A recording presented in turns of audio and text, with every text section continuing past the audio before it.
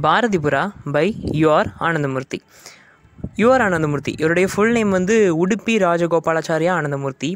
Kannada writer நிறைய short stories plays போயம்ஸ்லாம் எழுதின இவருக்கு நைன்டீன் நைன்டி ஃபோரில் நம்ம இந்தியன் கவர்மெண்ட் ஞானபித் அவார்ட் கொடுத்து ஹானர் பண்ணியிருக்காங்க.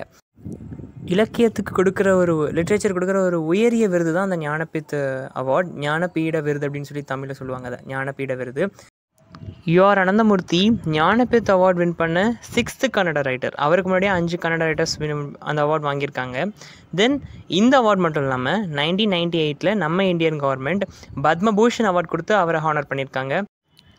தென் அவருடைய மெயின் ஒர்க்ஸ் பார்த்தோன்னா பிராஷ்னே ஆகாஷ மாட்டுபேக்கு அவஸ்தே இதெல்லாம் அவருடைய அதர் மெயின் ஒர்க்ஸ் அது போக நிறைய ஷார்ட் ஸ்டோரிஸ் பிளேஸ் அண்ட் போயம்ஸும் எழுதியிருக்காரு. ஓகே ஆத்தர் இன்ட்ரோ பார்த்தாச்சு. இப்போ நம்ம கேரக்டர்ஸ் பார்த்துட்டு ஸ்டோரிக்குள்ளே பார்க்கலாம் ஜெகநாதா. இந்த ஜெகநாதா கேரக்டர் தான் ப்ரொட்டகனிஸ்ட் பாரதிபுரா அப்படிங்கிற ஊரில் இருக்கிற ஒரு வெல்த்தியான பிராமின் ஃபேமிலியில் பிறந்த பையன் தான் Jagannatha protagonist then ஜெகநாதோடைய lady love Margaret then Chandrashekar ஜெகநாதோடைய friend இவங்க ரெண்டு பேரும் வந்து இங்கிலாண்டில் தான் இருப்பாங்க. இவருமே இங்கிலாந்துலேருந்து தான் பாரதிபுராவுக்கு வந்திருப்பார். ஓகேவா அதை நம்ம ஸ்டோரிக்குள்ளே பார்க்கலாம். சிக்கி ஜெகநாதோடைய ஆண்ட் அதாவது அவங்க அம்மாவுடைய சிஸ்டர் மாதிரி. ஓகேவா ஜெகநாதோடைய அப்பா அம்மா பேர் வந்து ஆனந்தராவா அப்பா சீதாதேவி அம்மா. தென் நாகராஜா ஜாய்ஸ் அந்த ஊரில் ஒரு கோயில் இருக்கும். மஞ்சுநாதா டெம்பிள் ஒரு டெம்பிள் இருக்கும். அந்த டெம்பிளுக்கு வந்து இவர் தான் ப்ரீஸ்ட் ஆக வேண்டியவர். ஆனால் இவருக்கு பதிலாக இன்னொருத்தர் ப்ரீஸ்ட் ஆகிருப்பார் அவர் தான் சீதாராமையா. ஓகேவா அவர் தான் priest of the Manjunatha temple then Nagamani. Nagamani வந்து நாகராஜாவுடைய பையனுக்கு ஒய்ஃப் ஓகேவா ஸோ அவருடைய மருமகள். நாகமணி வந்து அவருடைய நாகராஜா ஜாய்ஸுடைய மருமகள். கணேஷா இவர் யாருடைய பையன்னா? சீதாராமையாவுடைய பையன். அதாவது இப்போ ப்ரீஸ்டாக இருக்கிற சீதாராமையாவுடைய பையன் தான் கணேஷா. பில்லா ஜெகநாதோடைய ஃபார்மில் வேலை பார்க்குற ஒரு கேரக்டராக காட்டியிருப்பாங்க. பில்லா வந்து ஹோலி அருண் போட்டிருக்கேன்ல. இந்த பாரதிபுரா ஊரில் வந்து ஊர் முழுக்க நல்லா பிராமின் ஃபேமிலிஸ் நல்லா வெல்த்தியாக பிராமின்ஸில் வந்து நல்லா ஹையர் கிளாஸ் பீப்புள் இவங்க போக ஹோலியாறு கம்யூனிட்டின்னு ஒரு கம்யூனிட்டி இருக்குது அந்த ஊருக்கு ஒதுக்குப்புறமா ஒரு கம்யூனிட்டி இருக்குது அந்த ஹோலியாறு கம்யூனிட்டி அவங்களாம் வந்து லோ காஸ்ட் ஓகேவா அதை சேர்ந்த ஒருத்தர் தான் இந்த பிள்ளை. அவங்களாம் வந்து இந்த மாதிரி பெரிய பெரிய வெல்த்தி பிராமின் ஃபேமிலிஸ் வீட்டிலலாம் வந்து இப்படி ஃபார்மில் வேலை பார்க்குறது இந்த மாதிரி வேலை பார்ப்பாங்க. அவங்க வீட்டுக்குள்ளெலாம் போகக்கூடாது. அன்டச்சபிலிட்டி அது நமக்கு தெரியும். பிராமின்ஸ் வந்து லோ காஸ்ட் பீப்புள் எப்படி நடத்துவாங்கன்னு அதுதான் இதோடைய மேஜர் தீமே ஒரு மேஜர் பிளாட்டே தான் அது நம்ம உள்ள கதைக்கு உள்ளே போகும்போது பார்க்கலாம். ஸ்ரீபதி ராவோ ஆனந்த் ராவோட ஃப்ரெண்ட் ஆனந்த் ராவ் வந்து ஜெகநாதாவுடைய அப்பா. பாக்யாம்மா ஸ்ரீபதி ராவோடைய ஒய்ஃப் குருவப்பா கவுடா இவங்க இருக்கிற இந்த தொகுதிக்கு எம்எல்ஏ கிருஷ்ணய்யா இவர் ஒரு லோகாஷை சேர்ந்தவர் தான். கிளர்க்காக ஒர்க் பண்ணுறாரு ஓகே நம்ம கேரக்டர்ஸ் பார்த்தாச்சு. இப்போ நம்ம ஸ்டோரிக்குள்ளே போயிடலாம். போகிறதுக்கு முன்னாடி ஒரு சின்ன இன்ட்ரோ அந்த ஸ்டோரிக்கு இந்த பாரதிபுரா அப்படிங்கிற ஊரில் வந்து ரெண்டு காஸ்ட் ரெண்டு கிளாஸ் பீப்புள் இருக்காங்க. Upper class people lower class people upper class பீப்புளெலாம் Brahmin lower class பீப்புளெலாம் வந்து ஹோலியாரு கம்யூனிட்டியை சேர்ந்தவங்க. ஹோலியாரு. அதில் இருக்கிற விமனை வந்து ஹொலாத்தி அப்படின்னு சொல்லுவாங்க.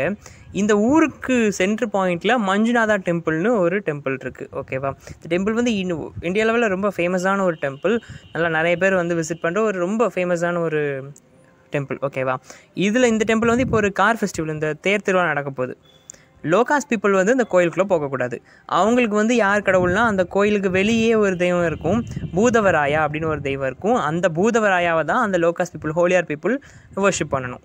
ஒருவேளை இந்த பூதவராயாவை தாண்டி இவங்க உள்ளே போனால் அந்த பூதவராயாவே இவங்க என்ன பண்ணிடுவாராம் பனிஷ் பண்ணிடுவார் எப்படி பண்ணுவாருன்னா இவங்க தாண்டி உள்ளே போயிட்டாங்கன்னா ரத்தங்கைக்கு செத்துருவாங்க அப்படிங்கிற ஒரு பிலீஃப் இருக்குது அதை நம்பிட்டு அந்த மக்கள் என்ன பண்ண மாட்டாங்கன்னா கோயிலுக்குள்ளே போக மாட்டாங்க. வெளியிருந்து பூதவராயாவை வணங்கிட்டு அப்படியே வந்துடுவாங்க ஸோ இதுதான் இப்போ அந்த ஊரில் உள்ள பிரச்சனை. அந்த பீப்புள் அந்த கோயிலுக்குள்ளே போக முடியாது. இப்போ கார் ஃபெஸ்டிவல் நடக்க போகுது. இந்தியாவிலேயே ஃபேமஸான ஒரு டெம்பிள் அந்த ஊரில் இருக்குது ஊருடைய சென்ட்ரல் பாயிண்டில் இருக்குது பட் இந்த மக்களால் உள்ளே போய் ஒர்ஷிப் பண்ண முடியாது. பூதவராயாவை மட்டும் வெளியேந்து கும்பிட்டுட்டு ஓடி வந்துடுவாங்க இதுதான் இவங்களுடைய அங்கே இருக்கிறது. இப்போ நம்ம ஹீரோ ப்ரொட்டகனிஸ்ட் ஜெகன்னா வந்து இதை மீறி இந்த மக்களை உள்ளே கூட்டு போக ட்ரை பண்ணுறாரு என்ன ஆகுது அப்படிங்கிறது தான் இந்த ஸ்டோரி ஓகேவா இப்போ அவுட்லைன் பார்த்தாச்சு. இப்போது ஸ்டோரி ஆரம்பிக்கும் போது ஸ்டோரிஸ்லேருந்து டவுன் ஆஃப் பாரதிபுரா. பாரதிபுராவில் தான் ஸ்டோரி நடக்குது. அங்கே ஒரு ஃபேமஸான டெம்பிள் மஞ்சுநாதா டெம்பிள் அண்ட் அந்த மஞ்சுநாதாவுக்கு வந்து ஒரு காவல் தெய்வம் மாதிரி இந்த பூதவராயா அப்படிங்கிற காடும் இருக்கார். த காட் ஆஃப் அன்டச்சபிள்ஸ் அந்த அன்டச்சபிள்ஸ் வணங்குற தெய்வம் இந்த பூதவராயா தான். இவரை மீறி மஞ்சுநாதா அந்த உள்ளே இருக்கிற அந்த டெய்டி கிட்டே போக முடியாது. இந்த அன்டச்சபிள் சாரி இந்த லோ காஸ்ட் பீப்புள் உள்ளே போக முடியாது ஓகேவா இப்போது நம்ம ப்ரொட்டகனிஸ்ட் ஜெகநாதா வந்து ஒரு வெல்த்தி லேண்ட் ஓனர் அதில் இருக்கிற ஒரு வெல்த்தி பிராமினுடைய பையன் இங்கிலாந்துலேருந்து திரும்ப வரான். வந்து அவனுக்கு இந்த சுச்சுவேஷன் பிடிக்கல. ஒரு அஞ்சு வருஷம் கிட்ட ஜெகநாதா வந்து இங்கிலாந்தில் இருக்கான். அவன் ஒரு தீசிஸ் ஒரு டாக்டரேட் பண்ணுறதுக்காக போயிருப்பான் பட் அவனால் அதை எதை முடிச்சிருக்க முடியாது. ஸோ திரும்ப வரான். அங்கே அவனுக்கு கிடச்ச ஃப்ரெண்ட்ஸ் தான் மார்கரெட் அண்ட் சந்திரசேகர். மார்க்ரெட் வந்து இவனுடைய லேடி லவ் சந்திரசேகர் இவனுடைய ஃப்ரெண்டு சந்திரசேகரை இவன் தான் மார்க்ரெட்டுக்கு இன்ட்ரடியூஸ் பண்ணி வச்சிருப்பான். இப்போ இங்கிலாந்துலேருந்து வரான். தீசிஸை முடிக்க முடியாமல் வரான். அஞ்சு வருஷம் அங்கே இங்கிலாண்டில் இருந்ததுனால இங்கே இருக்கிற அந்த இது போய் அவங்களுடைய அந்த கல்ச்சர் இங்கிலனுடைய அந்த கல்ச்சர் வந்து இவனுக்கு நல்லா ஊறி போயிடுச்சு. ஸோ இங்கே வந்து இந்த ஒரு அன்டச்சபிலிட்டி அவனுக்கு பிடிக்கல. இங்கே நடக்கிற அந்த சோஷியல் கிளாஸ் டிஃப்ரென்ஸ் வந்து நம்ம ஜெகநாதாவுக்கு சுத்தமாக பிடிக்கல. ஸோ அந்த சுச்சுவேஷனை ஆல்ட்ரு பண்ண ட்ரை பண்ணுறான் தென் ஸ்ரீபதி ராவும் ஜெகநாதோடைய அப்பாவும் நல்லா க்ளோஸ் ஃப்ரெண்ட்ஸ் சைல்ட்ஹுட் ஃப்ரெண்ட்ஸ் ரெண்டு பேரும். இண்டிபெண்டன்ஸ்க்காக நல்லா உழைச்சிருக்காரு இந்த ஸ்ரீபதி ராவ் அந்த ஸ்ரீபதி ராவ் கிட்ட தன்னோட இன்டென்ஷனையும் அவருடைய காதி ஷாப்பில் வச்சு பேசும்போது சொல்கிறான் ஆனால் அவருக்கு வந்து பெருசாக அதில் ஒரு இன்ட்ரெஸ்ட் இல்லை. இருந்தாலும் அவர் கொஞ்சம் யோசனையாக இருக்குது ஏன்னா டப்புன்னு யாராலையும் மாறிட முடியாதுல்ல. அந்த வழக்கம் கஸ்டம்ஸ்னு இருக்கும்போது அவர் கொஞ்சம் யோசிக்கிறாரு. தென் அதுக்கப்புறம் வீட்டுக்கு வந்து தன்னுடைய லேடி லவ்க்கு ஒரு லெட்டர் எழுதுகிறான் அந்த Manjunatha temple cancer of our lifestyle அப்படின்னு சொல்லி ஒரு லெட்டரை மார்க்ரெட்டுக்கு எழுதுகிறான் அவன் அவனுடைய ஃப்ரெண்ட் சந்திரசேகரும் அங்கே தான் இருக்கான் மார்கெட் இங்கிலாண்டில் இருக்காங்க. இவன் தான் சந்திரசேகரை வந்து அவங்களுக்கு மார்க்கெட்டுக்கு இன்ட்ரடியூஸ் பண்ணி வச்சுருப்பான். தென் அதுக்கப்புறம் எப்படியாவது இந்த லெட்டர் எழுதிட்ட பிறகு யோசிங்க எப்படியாவது இந்த மஞ்சுநாத டெம்பிள்குள்ளே ஹோலியார் பீப்புளை கூட்டிகிட்டே போகணும் அந்த கம்யூனிட்டி பீப்புளை கூட்டிகிட்டே போகணும் அப்படிங்கிற இடத்துல இருக்கான் ஜெகநாதா. அதுக்கப்புறம் அப்படி இப்படின்னு ஒரு ஆறு மாதம் ஆயிடுச்சு. ஜெகநாதா வந்து எந்த ஒரு மாற்றமும் நடந்த மாதிரி இல்லை. அதுக்கப்புறம் ஜெகனாவே முடிவு பண்ணிடுறேன். இப்படியே சும்மா இருந்தால் வந்து எதுவும் நடக்க போகிறது அப்படின்னு சொல்லிட்டு ஹோலியாரு கம்யூனிட்டி அங்கே போய் ஒரு பத்து யங் மென்னை வந்து கூப்பிடுறான். வாங்க அப்படின்னு சொல்லி கூப்பிட்டு அவங்க கூட வச்சுக்கிறான். வச்சு அவங்ககிட்ட பேசுகிறான் அந்த விஷயத்த. நீங்கள் வந்து இந்த மஞ்சுநாத டெம்பிளுக்குள்ளே வரணும் அப்படிங்கிற விஷயத்தெல்லாம் அவங்ககிட்ட சொல்கிறான் தென் இந்த விஷயத்தை பற்றி பேசுகிறதுக்கு வந்து நாகராஜா ஜாய்ஸ் வீட்டுக்கு போகிறான் அவர் வந்து ப்ரீஸ்ட் ஆக வேண்டியவர் பட் அவருக்கு பதிலாக சீதாராமையா ப்ரீஸ்ட் ஆகிருப்பார் அந்த காண்டில் சீதாராமையா மேலே ஒரு கேஸ் போடணுங்கிறக்காகவே தன்னுடைய பையனை லாயர் ஆக்கி ஷிமோகாவில் அவருடைய பையன் இருக்கான் இப்போ. ஷிமோகா டிஸ்ட்ரிக்டில் அவருடைய பையன் இருக்கான். அந்த பையனுக்கு கல்யாணம் ஆயிடுச்சு அவருடைய பெண் கல்யாணம் ஆயிடுச்சு மருமக பேர் நாகமணி. நம்ம கேரக்டர்ஸில் பார்த்தோம்ல அந்த நாகமணிங்கிற மருமகளை பையன் கூட அனுப்பி வைக்காமல் தான் கூடயே வச்சுக்கிட்டு டார்ச்சர் பண்ணிட்டு இருக்காரு நாகராஜா ஜாய்ஸ். ஸோ அந்த வீட்டுக்கு இப்போ ஜெகன்னா போகிறான் போய் அங்கே போய் தன்னுடைய இன்டென்ஷன் சொல்கிறான் இப்படி ஒரு முடிவு பண்ணியிருக்கேன். அன்டச்சபிள்ஸை கோயிலுக்குள்ளே கூட்டிகிட்டு வந்து வர்ஷிப் பண்ண வைக்கணும் அப்படின்னு சொன்ன உடனே அவருக்கு சுத்தமாக பிடிக்கல. அவர் வான் பண்ணுறாரு அப்போ அப்படி பேசிகிட்டு இருக்கும்போது அவருடைய மருமகள் நாகமணி வந்து காஃபிலாம் கொடுத்துட்டு போகிறா காஃபி கொடுத்துட்டு உள்ளே போகிறப்ப திடீர்னு சூசைட் பண்ணிக்கிறா. உடனே ஜெகனா வந்து அதுக்கு மேலே பேச முடியல. அங்கேருந்து சரி நம்ம பிளான் சொல்ல வேண்டாம் அப்படின்னு அந்த இதில் அங்கேருந்து கிளம்பிடுறான் அதுக்கு அடுத்த நாள் ஹோலியாரு ஹோலியார் பீப்புள் இருக்கிற இடத்துக்கு மறுபடியும் போகிறான் போய் அவங்களுக்கு ஸ்லேட்லாம் கொடுக்குறான். ஸ்லேட் கொடுத்து அவங்கள எஜுகேட் பண்ணுறான் படிங்க இதான் இந்த எழுத்து அப்படின்லாம் சொல்லி கொடுக்குறான். தென் அவங்கள வந்து இப்படி அரைகுறையாக ட்ரெஸ் பண்ணாதீங்க ஃபுல்லாக ட்ரெஸ் பண்ணுங்கன்னு சொல்கிறான் யார் முன்னாடி குனிஞ்சு நிற்காதீங்க நிமிர்ந்து நெல்லுங்க அப்படின்னு இந்த மாதிரி டீச் பண்ணுறான் எஜுகேஷன் எதுக்கு இப்படி சொல்லியிருக்கான்னா எஜுகேஷன் முக்கியம். எஜுகேட் நீங்கள் எஜுகேட் ஆனால் தான் இதெல்லாம் உங்களுக்கு புரியும். நீங்கள் இப்படிலாம் இருக்க மாட்டீங்க கொஷின் கேட்க ஆரம்பிப்பீங்க அப்படிங்கிற மாதிரிலாம் அங்கே போய் ப்ரீச் பண்ணிகிட்ருக்கான் இப்படி அவங்களுக்கு சொல்லி கொடுத்துட்டு இருக்கும்போது பில்லா இவங்க வீட்டில் வேலை பார்க்குற பில்லாவும் அந்த ஹோலியார் கம்யூனிட்டியை சேர்ந்தவன் தானே. அவன் அங்கே இருந்துட்டு எனக்கு ஒரு உதவி பண்ணணுமே அப்படின்னு சொல்லி கேட்கான் நம்ம ஜெகநாதா கிட்ட.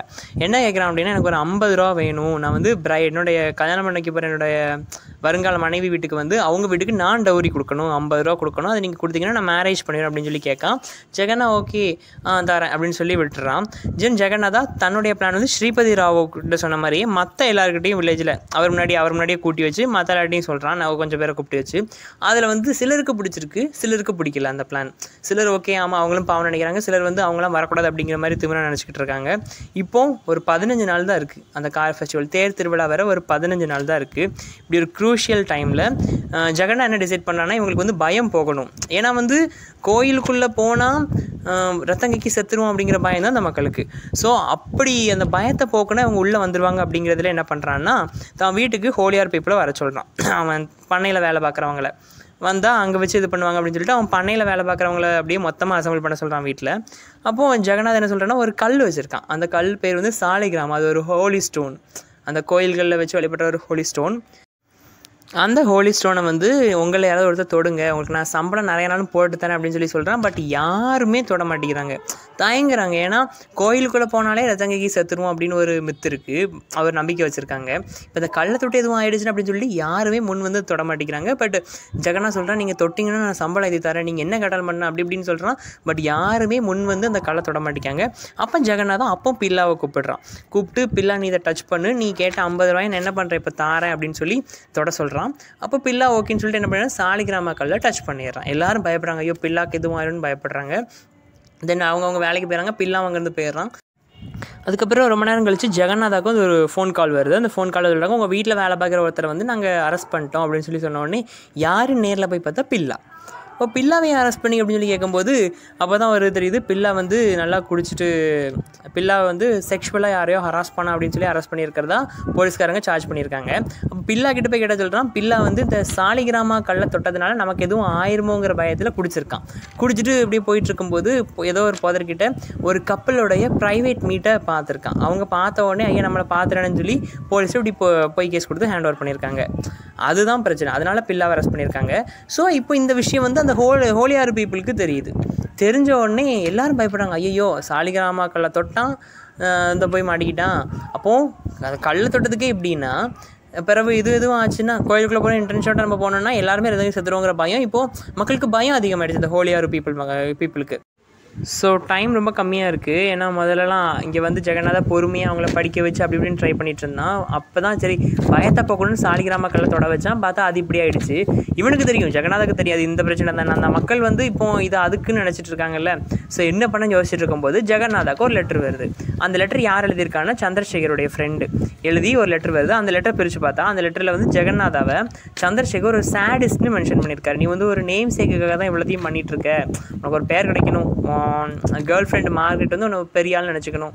அந்த ஒரு இதுக்காக தான் நீ என்ன பண்ணுற இவ்வளோ விஷயத்தையும் அவங்க ஊரில் போய் பண்ணிகிட்ருக்க மற்றபடிக்கு நீ எந்த ஒரு வேற ஒரு இன்டென்ஷனில் நீ இதை பண்ணலாம் அப்படிங்கிற மாதிரி அவர் சொல்லியிருக்காரு. சொல்லிவிட்டு மார்கரெட்டை நான் என்ன பண்ணுறேன் இப்போ லவ் பண்ணுறேன் நாங்கள் இப்போ எப்படி இருக்கோம்னா லிவிங் டுகெதர் ரிலேஷன்ஷிப்பில் இருக்கோம் அப்படின்னு சொல்லி அவர் லெட்டர் எழுதியிருக்காரு. இதை பார்த்த உடனே ஜெகநாதாக்கு இன்னொரு தலைவலி. ஐயோ இப்படி ஆயிடுச்சு அப்படிங்கிற மாதிரி ரெண்டு மண்டக்கத்தோடு இப்போ இருக்காரு ஜெகநாதா. அப்படியே குழப்பமாயிடுச்சு இப்போ அவருக்கு. என்ன பண்ண? இனிமேல் என்ன பண்ண போகிறோம் அந்த மக்கள் எப்படி உள்ளே கூட்டிகிட்டு போக போகிறோம் கோயிலுக்குள்ளே. தென் இங்கேருந்து இப்போ ஒரு லெட்டர் பர்சனலாக ஒரு ப்ராப்ளம் இருக்குன்னு சொல்லி யோசிச்சுட்டு இருக்கும்போது டைம் போக போக இன்னும் வெறும் நாலு நாள் தான் இருக்குது தேர் திருவிழாக்கு. தேர்டுக்கு இன்னும் நாலு நாள் தான் இருக்குது அதுக்குள்ளே மக்களை கூப்பிட்டு போகணும். ஸோ தான் பர்சனல் ஃபெயிலியர்ஸையும் இப்படி ஒரு வார்ம் வச்சுட்டு ஏதாவது பண்ணணும்னு சொல்லி யோசிச்சுட்டு இருக்கும்போது ஹோலியாறு பீப்புள் இருக்கிற அவங்க வீடு இருக்கிற அந்த ஏரியாவில் வந்து தீ பிடிச்சிருது. அந்த ஃபயர் ஆக்சிடெண்ட்டில் முதல்ல யாரும் செத்த மாதிரி தெரியல. க பார்த்த கடைசியில் ஒரு சின்ன பையன் இறந்துடுறான். ஸோ மக்களுக்கு இது இன்னும் பயத்தை அதிகமாக்குது. அந்த சாலிகிராமம் ஒருத்தன் தொட்டதுனால தான் இவ்வளோ பிரச்சனை நடக்குது. ஸோ நம்ம என்ன பண்ண வேண்டாம்?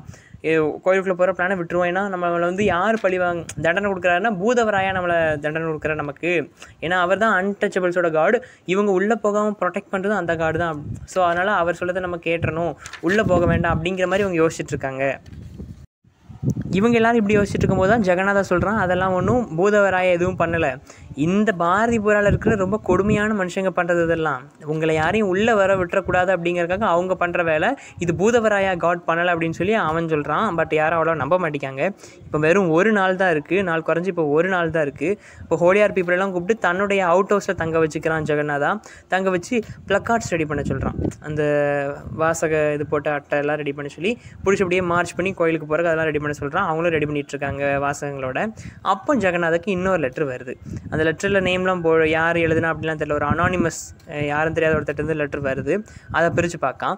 அந்த லெட்டரில் என்ன போட்டிருக்கு அப்படின்னா ஆனந்தராவோடைய பையன் நீ கிடையாது அப்படின்னு சொல்லி இந்த லெட்டரில் இருக்குது ஜெகநாதா நீ வந்து ஒரு ஆனந்தராவ பையன்லாம் கிடையாது. ஒரு வெல்த்தி பிராமின் அவருக்கு பிறந்த பையன் நீ கிடையாது அப்படின்னு சொல்லி அதில் கொடுத்துருக்கு.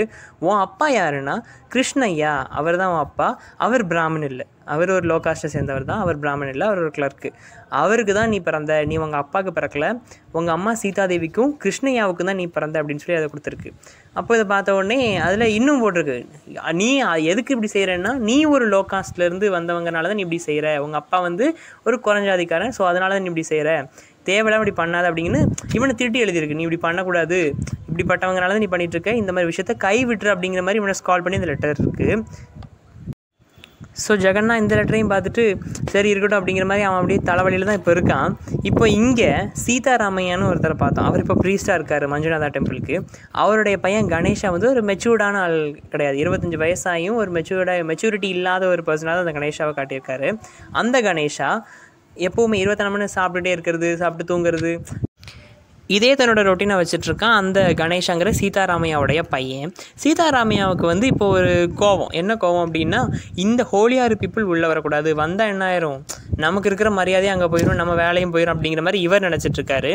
அப்போ அப்படி நினச்சிட்டு தான் பையன் கணேஷா தான் தனக்கு அடுத்து ப்ரீஸ்ட் ஆகணுங்கிற ஒரு எண்ணத்தோடு இருக்கார். நமக்கு அடுத்து நம்ம பையன் அவன் அப்படிங்கிற எண்ணத்தில் சீதாராமையா இருக்கார். ஆனால் கணேஷாக்கு அதிலெல்லாம் விருப்பம் கிடையாது. சாப்பிடணும் தூங்கணும் அப்படிங்கிற மாதிரி ஒரு சோம்பேறித்தனமான ஒரு வாழ்க்கையை வாழ்ந்துட்டுருக்கான் அந்த கணேஷா. அவனுக்கு இதெல்லாம் இன்ட்ரெஸ்ட் பெருசாக கிடையாது. ஸோ அவனுக்கு ப்ரீஸ்ட் ஆக விருப்பம் இல்லை. பட் சீதாராமையா நீ ஆகணும்னு சொல்லி அவனை வற்புறுத்தலை வற்புறுத்தி நல்லா அடின்னு அடிக்கிறாரு. அது வந்து எப்போவுமே அவனை அடிக்க தான் செய்வார். நான் சொல்கிறத கேட்கனாலே போட்டு வெளு வெளுன்னு வெளுப்பார். அது கணேஷாக்கு பிடிக்காது. அப்பாட்ட அமைதியாக அடி வாங்கிட்டே தான் இருப்பான். ஏன்னா அவனுக்கும் எழுது அடிக்கவும் மாட்டான். சாப்பிட்டு தூங்குறது தான் அவன் வேலை. அப்படி ஒரு இம்மெச்சூர்டாக இருக்கான் அவன். ஸோ இந்த டைமும் நல்லா போட்டு வெளு வெளுன்னு வெளுக்கிறாரு. நீ தான் ஆகணும். நான் சொல்கிறத கேளு அப்படி இப்படின்னு போட்டு அடிக்கிறாரு. அப்போ கணேஷாக்கு இந்த தடவை கோவம் தாங்கலை.